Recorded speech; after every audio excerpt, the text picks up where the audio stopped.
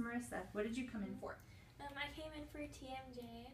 Okay, and what kind of symptoms were you experiencing? Um, I was experiencing pain and jaw shifting. Okay, how long were you experiencing these symptoms? I was experiencing these symptoms for about two years. Okay, and did you have any previous treatments? I did have two years of chiropractic. Did it help? Uh, no, it didn't help. Okay, and how much on a or how much pain on a scale of zero to ten, zero being no pain and ten being emergency room, Mhm. did you feel when you first came in to see Dr. Um, Jacobs? I felt seven. a seven. Okay, how much pain do you feel right now? I feel like zero. Okay, and how many or how long have you been um, receiving Astro treatments? A little bit over a month. Okay, and how many treatments did you have before you noticed feeling relief? Um, the first session is when I felt relief. Great. And how? What do you think about ASTR? I really, really like it a lot, and it really helped me because I thought I'd be living uh, with a crooked jaw my whole life and a crooked smile, but now it's really changed a lot.